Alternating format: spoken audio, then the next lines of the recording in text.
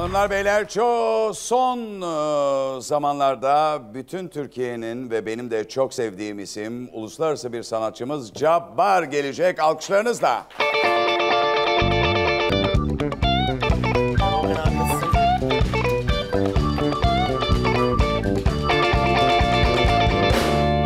Arada hemen teşekkür ediyorum bana bu 33'lüğü getirdiğin için.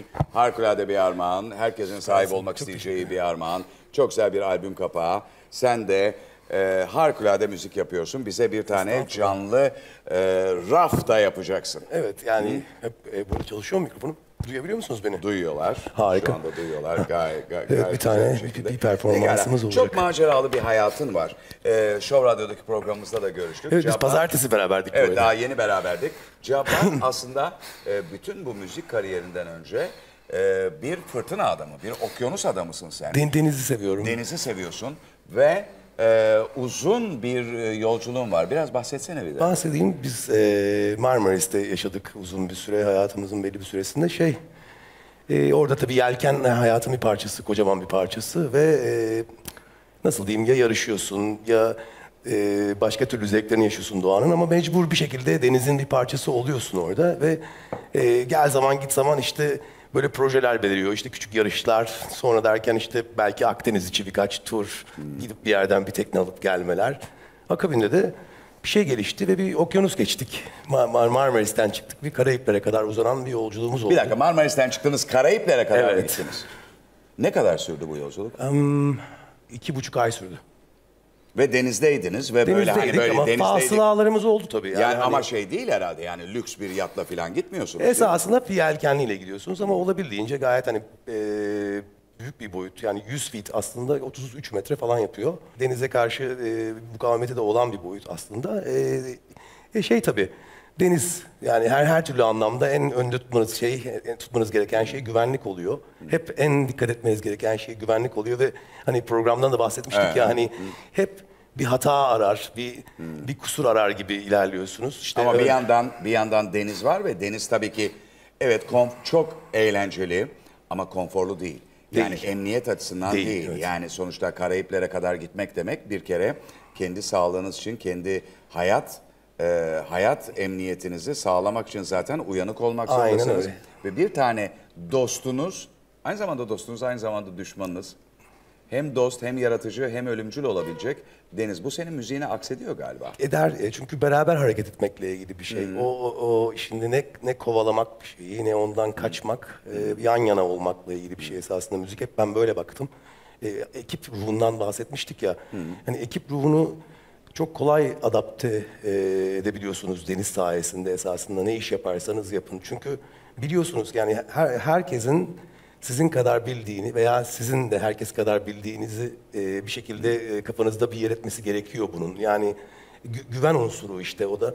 Yani müziğinizi de birine teslim ederken veya yan yana gelindiğinde e, onun seyahat edebileceği daha farklı mesafeleri algılamanızı da sağlıyor esasında Deniz. Yani ekip çalışmasının işte ne kadar önemli bir şey olduğunu ve doğru insanlara güvenince neler olabileceğini esasında gösteriyor Deniz. Ama tabii hiçbir zaman öğrendim demiyorsunuz. Öğrendim. Evet. Öğrendim dediğin gün Evet. kafaya bombayı yersin Başka diye bir bir laf var yani bizde çok önemlidir o da. Peki raf şarkısı çıktı. Ee, bana e, daha önce anlatmış olduğun şeyi ben hızla e, geçeyim. Ee, belki burada var mı Cabbar'ın dinleyicileri aranız, aranızda? Mutlaka vardır. Harikulade. Ee, ve tabii ki e, raf şarkısını yapıyorsun. Evet. Sonra bir de gayet güzel İngilizce olarak Move e. Move On'u söylüyorsun. Ve sonra ne oluyor anlat bana. Sonra e, o güzel bir anekdot aslında. Yani e, raf çıkıyor ve aşağı yukarı bir ay sonra işte biz Deep Rise'la beraber ona da selam olsun buradan. E, Deep Rise'la beraber rafı release ediyoruz işte ka- e, 2017 4 Mayıs. E, işte bir ay e, gibi bir, bir süre ar- arkasından Move On çıkıyor. E, tabii radyolarda işte her türlü arabalarda, kulüplerde, ve işte mekanlarda. Her yerde, her her yerde. yerde dinleniyor. E tabii şarkı bizden biraz daha çok tanınıyor aslında. Hani biz biraz böyle klipte de e, çok da göstermedik kendimizi. Biraz öyle bir stil oldu. Biraz mistikti bir ambiyans. E, neyse işte arkadaşlarımız tabii şu şarkının Türkçelerin Türkçesini de biliyorlar ama İngilizcesini duyanlar e, e, sonra hep şey aa bak işte ben biliyordum zaten böyle olduğunu bak o şarkıyı siz Türkçe'ye çevirmişsiniz değil mi gibi bir e, tatlı anekdotlar da yok. Abi diyoruz işte biz de o, o da bizim şarkımız. O da bizim. yani öyle öyle bir diyalog da e, gelişmişti ve bu e, yani nasıl diyeyim hep böyle ko- komik bir şey olarak kalacak aklımda. Çok da güzel. Ee, bu e, klipler organik olarak bunu mutlaka söylemek gerekiyor. Çünkü bu çok son zamanlarda seslendirdiğimiz bir şey. Eskiden beri e, müzisyenler diyor ki mesela klibim çıktı. E, YouTube'da e, 120 milyon izlendi. Hemen. 180 milyon izlendi. Sonra araştırılıyor, bakılıyor ki Endonezya'da izlenmiş 60 milyon. Çin'de izlenmiş. Hatta onun üzerine bir takım akıllıca laflar edildi bunlara da. Ya Endonezya'da 60 milyon izleniyorsa neden Endonezya'ya gidip konser vermiyorsun? Gerizekalı mısın yani? Ee, yani eğer bu kadar izleniyorsa ama sende hiçbir e, manipülasyon olmadan ciddi ciddi 60 milyondan e, fazla 68 milyon gibi bir rakam 68 var milyon sadece. gibi İskoçya, İngiltere, Hollanda, İspanya, Fransa gibi ülkelerde e, özür dilerim bu senin teknelerde çalışmışsın onu bir onu şey, değil. Ha, nerelerde nerelerde onu sen söyle bendeki notlarda yok. Hayat mücadelesi diyelim ona işte. Şu, şunu hayır şunu söylemek istiyorum. E, nerelerde e, bir numara oldu ve Spotify'da ne kadar? Ee, ya benim hatırladığım bir numara olduğu e, aşağı yukarı e, galiba 4 ay falan sürdü diye biliyorum ben Spotify'da bir numara kaldığı. Tür- tür- Türk Turkey Top, Top 50 var ya işte o bir ana bir liste. Zaten viralden giriş yapmıştı. O insanların paylaşımı üzerine büyüdü zaten bütün hikaye. Yani biz Deep Rise'la beraber hani plak Ama sen biraz galiba eskiden independent denilen hani e, Red Hot Chili Peppers'lar filan da aslında independent'tı. Evet, daha indie- sonra indie'ydi. indie'ydi ama daha sonra onlar artık sektörün ticari şirketlerine katıldılar filan ama Evet. bugün artık YouTube'a ne koysan zaten indie aslında. E, yani. yani bir e, independence'ın var. Farklı bir ses yani esasında Evet, aslında. farklı bir ses. Ama ama ve lakin sen hakikaten bu kadar e, başarılı olmuş ve bu kadar çok dinlenen bir bir ve birkaç tane şarkının sahibi olarak aslında o kadar tanınmıyorsun. Yani e, Yani yolda ne oluyor? Merhaba abi falan mı Yani oluyor yoksa? esasında konserlerde yaşıyoruz onu. Biz hani Konserlerde. bir performans öncesi insanların tabii ki orada bir daha algıda bir seçici oluyor insanlar. Çünkü biz evet yani işte Cabbar e, performansına geldik. Aa bu Cabbar olsa gerek herhalde Evet, bu da herhalde. Cabbar'dı. Aynen hani o Hayal bir... kırıklığı yaratıyor mu? Yo yani esasında Yani keyifli biz de daha bir süreç. böyle yani. daha hani bende olmuştu mesela. Yani ben ilk radyo radyo kontaktır radyo yayını yaparken çok hoş iki tane e, kadın girmişti stüdyodan içeri. Okan Bayülgenler'de e, dedim ki benim gerçekten Anlamadım ki niye öyle olmuş. E, yani o o ses radyodaki ses tabii ki belki başka bir e, bel- belki başka bir herkese başka bir hayal kurdurabilir. Başka tabii. bir şey mi bekliyorlardı Belki acaba? başka bir şey bekliyorlardı. Bilmiyorum yani. Hatta ben de dedim ki üzülmeyin. Buyurun size bir kahve ısmarlayayım. Beraber kahve içtik. Hakikaten üzüldüler.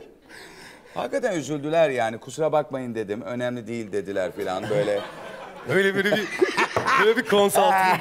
Ay önemli değil tamam geçti falan böyle. Ya, te, te, telafiler. Ya böyle bir şey oluyor mu sana? Yani ne bileyim. Ama hani- ses gerçekten e, gel desemdeki ses, raftaki ses o kadar etkileyici ki kusura bakma ben de seni hayal etmezdim. Ne münasebet. Yani esasında şey şöyle bir şey var. Ee, yani şarkı söylemek benim e, doğuştan yaptığım bir şey. Ben çok seviyorum şarkı söylemeyi. Yani müzik yapmak çok hani e, şey geliyor bana. Hani bir şeyle uğraşıyormuşum gibi gelmiyor aslında. Hani yaptığım şarkının tanınması, ya, yazdığım sözlerin daha doğrusu tanınması beni daha çok mutlu ediyor açıkçası. Yani o yüzden e, yani Raf'ın hikayesi, o, o dedim hani o mistik ambiyans, en başı itibariyle oluşan hani yüzlerimizi yani ne Deep Rise olsun ne ben olayım hani böyle yüzlerimizi çok ekspoze etmeden şarkıyı anlatan bir yapıdan bahsettik esasında orada. Çünkü Akyaka vardı, bir doğal ambiyans vardı. Yani bir şeye bak baksın insanlar mesela hani bizim gördüğümüz şeyleri görsünler belki o üretim sürecinde ne yaşadık. Belki aynı şeye baksınlar istedik. Ve yönetmenimiz de e, o klibin yönetmeni Evren Arasıl ee, ona, ona da selam olsun buradan. Ee, o da çok ince eledi, sık dokudu. İyi bir e, finalde bir şey çıktı ortaya ve insanların da hani hem melodisini hem bir gitar riffini, bir, bir, bir davul e, beatini veya genel sound'unu çok beğendiği bir şey çıktı ortaya ve bi- bizi bu çok mutlu etti. Ki bence en büyük mutluluk bu. Yani şarkının bilinmesi, şarkının tanınması. Çünkü bizim amacımız müzik yapmak yani. Hani Harikulade. kimse e, hayır ben ben işte çok büyük bir star olacağım değil hani ben iyi müzik yapacağım gibi düşündüm ben hep yani hani Ben ben karşımda çok iyi bir müzisyen, çok iyi bir arkadaş ama e, bizim ülkemizden yetişen ve uluslararası ve şu anda bütün dünyada geçerli olan müzik trendlerine selam çakan bir müzisyen görüyorum. Harikulade. Alkışlıyoruz ve sahneye davet ediyoruz canları. Abi,